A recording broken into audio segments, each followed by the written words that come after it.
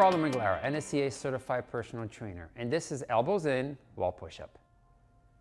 Push-ups have been a staple in the fitness industry for many years, and for good reason, and here's how to do it.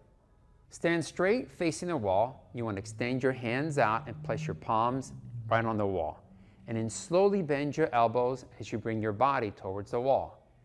And then as you get close enough, then you're going to slowly push yourself back up again to the starting position.